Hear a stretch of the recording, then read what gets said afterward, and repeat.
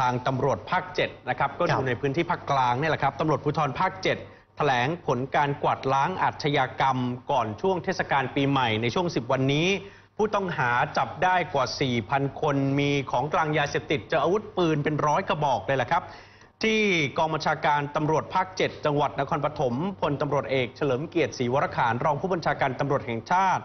กับทางผู้บัญชาการของตำรวจภูธรภาค 7ตำรวจในสังกัดแถลงผลการระดมกวดขันจับกลุ่มคดีอาญา คดีอุกชะกันสะเทือนขวัญ ก่อนช่วงปีใหม่ ก็คือไล่เรียง 11 ถึง 20 ธันวาคม 2559 กับปฏิบัติการนะครับ จับกลุ่มคดีอาวุธปืนได้ 149 คดี ผู้ต้องหา 151 คน อาวุธปืนทั่วไป 141 กระบอกกระบอกนะครับครับอาวุธปืนไม่มีทะเบียน 102 กระบอก อาวุธปืนมีทะเบียนอีก 39 กระบอก มีทั้งวัตถุระเบิดแบบประดิษฐ์เอง มียาเสพติดเกือบ 1,200 คดี ผู้ต้องหา 1,215 คน กับยาบ้า 50,000 กว่าเม็ด ยาไอซ์372 กรัม กัญชาแห้งก็มี จับกลุ่มผู้ต้องหาในคดีอาญา ก็คือยาเสพติดพันกว่าคน อาญาอีก เกือบ 2,300 คดี ได้ผู้ต้องหา 2,649 คน